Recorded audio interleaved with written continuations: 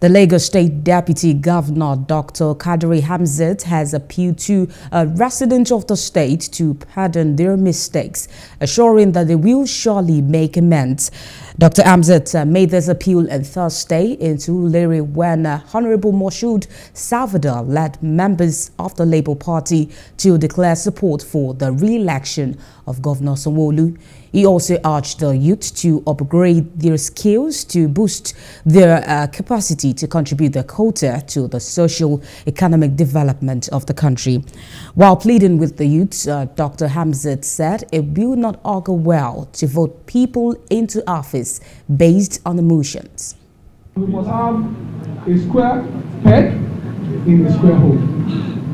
If we get that right, and that's, you know, with all our criticisms, that's what has been going on in Lagos over the years.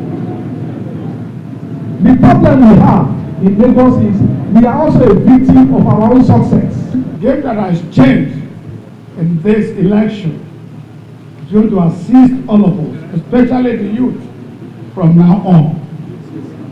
Before now, the youth decided to be unconcerned about the development of their state.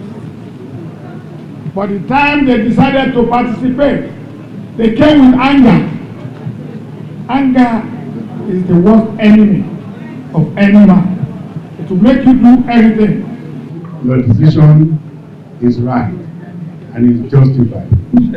Considering most of the good things they have done for Lagos in the last four years. The red line, maybe most of you have said, you will benefit, people will benefit a lot from the red line. Irene ainda construiu o cocô mágico, ajudando na marido. On his part, Honorable Moshood said Lagos is too big to go into the hands of rookies and called on residents to vote for those that will do the needful as Lagos is too big to fall into wrong hands. Uh, Moshood accused the Labour Party candidate Gbadebo Rhodes Vivour of having total disregard for the leadership of the party and will be a disaster if given opportunity to rule Lagos.